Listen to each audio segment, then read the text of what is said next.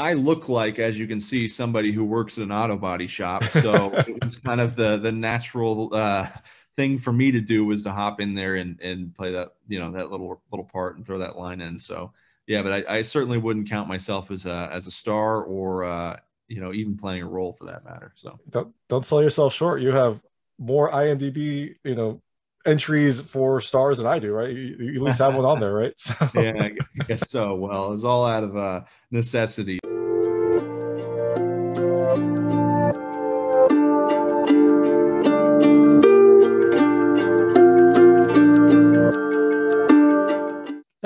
David Stark from Watch or Pass. Today I'm joined by John Swab, the director, writer, and star of Ida Red, which comes to theaters, digital, and on demand on November 5th, 2021.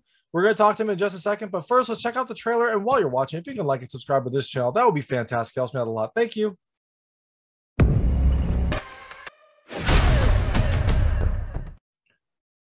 Hey, John. Hey, how you doing, David? Doing well. How are you? Good, good. good. All right, uh, let's get started. Uh, so this is thanks so much for joining me. This is John Swab, the writer, director, and star of Ida Red, which comes to theaters, digital, and on demand on November 5th, 2021. Uh, it's a crime caper that has a lot more drama than you expect and has some really fantastic acting as well. Um, I guess the first question, you, you kind of wear all the hats in this film. So I'll start with the writing side of it. I guess what inspired this story? Uh, I don't know, maybe maybe you you have a lot of family drama. I'm not sure what the what the nucleus of this was, but I guess what, what inspired your your writing in this film? Uh, I mean, first of all, I uh, I don't wear all the hats. I share one uh, one big hat with my uh, partner in these things, Jeremy Rosen, who's my producer. And uh, yeah, I mean, I um, you know, we finished a movie called Body Brokers, and we kind of sat down afterwards, and uh, we're discussing what we wanted to do next and uh, we both really wanted to tackle something that uh, inspired us you know in, in, the genre of something that's inspired us to get into making movies um, you know like classic crime dramas like thief or uh, heat or um, hardcore straight time you know movies of the 70s specifically.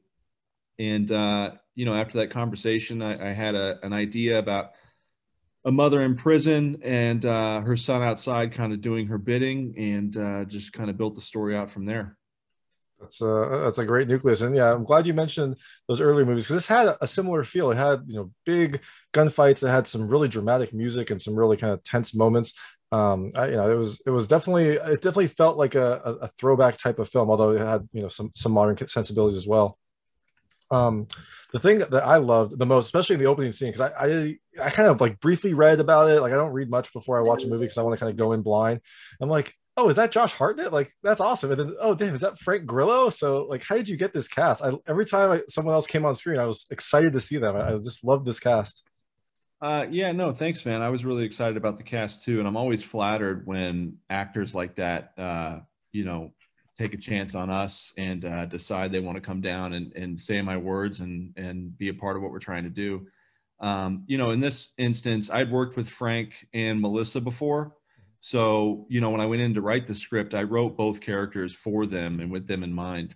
Um, so it was a lot of fun to kind of know that they were going to be a part of the film and uh, and be able to plan for that in the writing and kind of you know cheated a little bit towards their sensibilities and things I know that they do really well and, and things I also hadn't seen them do before. Um, in terms of Josh, Josh kind of came on uh, later in the process and and it was because of Jeremy uh, having a good rapport with his agent, and uh, he read the script and was really excited about it, and you know um, was excited about working with Frank and Melissa as well. So it, it all just kind of worked out, and I'm happy it did because I think everybody did a great job. Yeah, no, definitely. I, I, I haven't seen Josh in a lot of stuff. He was in a um a movie that I saw last year. Uh, that was like an independent dream movie, and it was so great to see him back in and on film. And then it's good to see him again here. And then also, I guess the other I don't know, tent pole. There's a, there's a lot of really great stars, but Deborah Ann Woll was also in this, and she did a fantastic job. Even though she doesn't have a ton of screen time, she adds a lot of drama as well. How, how did she get involved? Did you worked with her before, or is, was she just another person that you just kind of lucked out with? Yeah, I mean, definitely luck, man. And, and you know, Jeremy and I pride ourselves a lot on on not overlooking um, the more secondary characters, I guess, if you will, in the film, because I feel like, you know, especially in an indie, that's kind of what separates from me um, something that can kind of rise above feeling indie and not is is kind of making sure that even people that don't have a lot of screen time are you know seasoned actors who you know in deborah's case i mean she's you know done a lot of great work on uh on on tv shows and and in movies as well. But to come down for two days and work with us was uh was um was humbling to say the least. And uh she did a great job man. I was really really happy to get a chance to work with her yeah, definitely. Uh, you mentioned a couple days. Was this a pretty short uh, shoot? I mean, uh, how, how, much time do you have? I know indie films you always have not enough time, but how, how, much time do you have to make this movie? Yeah, it was it was 23 days of principal photography and then about two days of second unit. So, I mean, pretty good by indie standards. I feel like, uh, you know, most indies I feel like you get 20 days, maybe 25, but you know, we were definitely trying to punch above our weight class with uh, with this story and the amount of locations and the set pieces and the shootouts that you mentioned. So you know, 25 days or 23 days of principal wasn't necessarily uh, what would have been ideal had I had a uh, you know a perfect world situation, but you know we we managed to get it done. So awesome, and it's it's always more difficult when you have kind of bigger names in there because their schedules are, are tougher. They, they have more demands. So yeah, I mean, the 23 days seems like a good amount of time for this movie. Um, you mentioned that you wrote uh, Frank Grillo's character kind of with him in mind, and I I loved his character. Like every time he was on screen, he was like I described in my review as he's charismatic and unpredictable. And it's a strange combination of like every time he was on screen, I loved seeing him, and I was just holding my breath because I wasn't sure what he was going to do. Uh, did he like did he improv any of that? Like there were some scenes where he just did some kind of ridiculous things that fit perfectly with his character, or was that all kind of you visualizing what this character would be like played by Frank Grillo? Oh, I'm sorry about my dog. Hey, quit it. Sorry, it's my dog.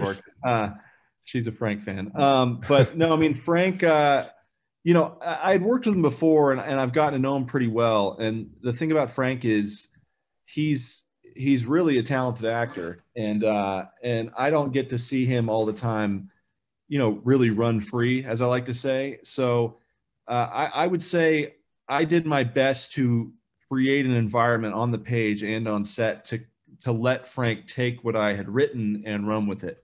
Mm-hmm. And um, you know, there are situations where he is improving, and I just said, "Hey, man, you know, this is you. You run with it." Or he would come to me with an idea before you know, we started the day and, and we went with that. And uh, I, I, have a tremendous amount of respect for Frank, and uh, he's one of my favorite actors, and, and, he's certainly one of my favorite actors to work with because he is so unpredictable. And uh, even when I know what he's going to do because we've discussed it and because I wrote it, I, I still have no idea what he's going to end up doing. Yeah, like how it's going to actually come out. Yeah, um, I, I, can't really predict what what you know he's going to do with that. So it's it's always exciting to watch uh, the scene that, that like uh, first really hit me was there's a scene where he meets someone and he starts dancing kind of with the music. And right. I was just like this is amazing because you just don't know what's going to happen. And I was that that's where I was just holding my breath like I'm not sure what he's going to do. Uh, was that do you know if that was written improv somewhere in between? Yeah it was it was kind of uh kind of a, an amalgamation. It was kind of a three three pronged idea where I had the idea uh, after I'd written the script and kind of uh, on on the day I was on to, on the way to set, and I told my producer Jeremy, "Hey, I have an idea for Frank to dance and and do this kind of weird sexual thing uh, before he executes this person." And I said, "What do you think about that?" And he was like, "I think it's great. What song?" And uh, Jeremy is uh, also the music supervisor on the movie and uh, has a great music relationships. He's a uh, been involved in the music business for a long time. So he kind of was off to the races searching for songs. He ended up locating Promises, Promises and getting clearance for it that day. Oh, wow. And, uh, and then, you know, we went to Frank on set that day and, and said, Hey, this is, this is the idea. What do you think about it? And he thought it was hysterical. So I know the, the dance was not choreographed. Uh, Frank, you know, I didn't know what he was going to do in that. And, uh, and I enjoyed it so much that I had him do it like 11 times. And I, we certainly didn't need that many, but uh, I just thought it was so funny and amazing that we just kept kept going. But it was, I'd say, you know, a a combo of of Jeremy, myself, and Frank all on that idea. Yeah. That's that's awesome that that just came together in one day because I mean I know you're already stressed and trying to figure everything out and then you're like I have this great idea and then you actually able to get it implemented together. That's that's an amazing story. Yeah, yeah. Uh, and I'm glad you mentioned the music because I loved the music. Like there were so many songs like I couldn't place any of the songs, but they all fit perfectly. You had some kind of more dramatic uh, songs for the tent scenes, and then just the the when you're just setting the tone of this town and, and this life, you've got some really amazing kind of country and blues songs that pop in that were that just said it perfectly. So this was all your your producer uh, who, who kind of handled that, or do you have other uh, people helping with the music as well? No, I mean it's just he and I, you know, and and I'd say, um, you know, we we talk a lot about music. He and I have very similar sensibilities when it comes to to tone and films and and what we like. Um, so our, our tastes aren't too different when it comes to to discussing what we want. And um, you know, and there there is great country and and blues and uh, you know some of that's original and some of it's like J.J. Cale is is I think the last needle drop in the film. And he's actually, you know, from Oklahoma where we shot the movie. So it was kind of a little nod to the people of Oklahoma and, you know, the film placing itself. So uh, we discuss it a lot, and um, I, I got to give him a lot of credit because he goes out and locks it down. And and uh, you know, I'm I'm really proud of the music in this film. I think it elevates it a lot and makes it feel like it's not an indie. Yeah, no, definitely. It definitely gives it a little bit of a, a nice polish to it. And then you mentioned Oklahoma. I loved the setting. Like it felt, it was kind of this perfect, picturesque, idealistic place, but also that felt like maybe it had some age to it and had some, you know, some scars. Uh, so is this do you it sounds like maybe you shoot in oklahoma a lot or is this just the, the perfect setting for this story that you were trying to tell uh, no i mean i'm from oklahoma um, and you know we have shot i think uh, that was our fourth movie shooting oh. in oklahoma so you know a lot of history here um, on the film side and, and we've gotten to know it pretty well and know our way around it and yeah i mean i just because i'm from here and uh, and i know kind of where i am um, it, it allows me to kind of uh, not stress about look as much or mm-hmm. because I, am it is just kind of a part of who I am being from here. So, uh, you know, it, it, I, I, have now started to write movies for Oklahoma, like in in, in this case with Ida Red. So it uh, it made it much easier to just know where the film was set, shoot it where it's set, and not have to really cheat or hide anything, and just lead into what is naturally just available to us. Yeah, why why introduce any additional stress when you've already got plenty on your plate? Amen. Um, yeah. And I also noticed that you got that that hot uh, star John Swab to play a role in this film. Uh, is, is is playing a role like is that something that you do normally, or was that just kind of a necessity here because you needed someone to fill that role and, and you had deadlines? Like, what, what how did that uh, I mean, come about? To, to, say I played a role is is um, is is very uh, generous. I mean, I think I was on screen for you know m- maybe under 100 frames and, and certainly less than a second, but um, but you know, uh, because we shot this during COVID, um, I'd say about 90% of the extras in the movie are people from our crew. Oh, wow. um, so it was, it was, uh, you know, uh, there, there wasn't, I, I look like, as you can see, somebody who works at an auto body shop. So it was kind of the, the natural, uh, thing for me to do was to hop in there and, and play that, you know, that little, little part and throw that line in. So, yeah, but I, I, certainly wouldn't count myself as a as a star or uh, you know even playing a role for that matter. So don't don't sell yourself short. You have more IMDb you know entries for stars than I do, right? You, you at least have one on there, right? So. yeah, I guess so. Well, it was all out of uh, necessity, not not because I wanted to do it. Yeah, that's awesome.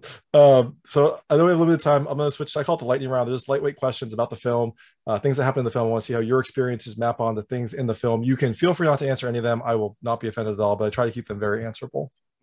Um, first question, and this was one you might want to skip. I'm not sure. Uh, you know, there's a lot of hold up scenes, a lot of uh, tense scenes. Have you ever had a gun pulled on you? Sure. Yeah. Okay. Um, I'll just move to the next one. So there are also many different types of weapons in this film. There's pistols, there's shotguns, there's like assault rifles. What would your weapon of choice be? Uh, probably a Glock. It's a good choice. Uh, there's also a, a, a, private jet scene. Have you ever flown on a private jet? Uh, once. Yeah. Oh, nice. Very nice. Yeah, it was not for a good reason. It was uh, it was like a funeral thing that I somehow got to just hop on the private jet. So, oh, yeah. Well, however it works, right?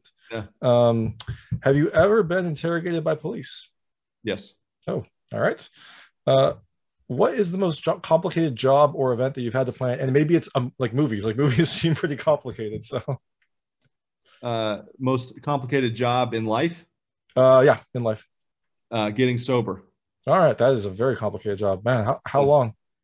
Uh, six years. Oh wow! Congratulations. That is that is a huge accomplishment. Thank, thank you. Yeah, it was a tough one. especially especially through COVID. That is extra impressive. Congratulations. Thank you, man. I appreciate it. Yeah. So you are driving and you see sirens behind you. Do you pull over immediately or do you kind of let let the cops coast for a little bit?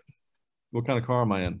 Mm, let's I don't know. I don't know. Uh, let's go with a truck. I forget, I forget what kind of car they were driving in the film. I think they were just driving like an old uh, like American car, right? Yeah, I, I think he's driving a uh, 88 Delta 88. So uh, in that car, you stand no chance, man. I might I might take my time pulling over, but I pull over. Yeah. Yeah.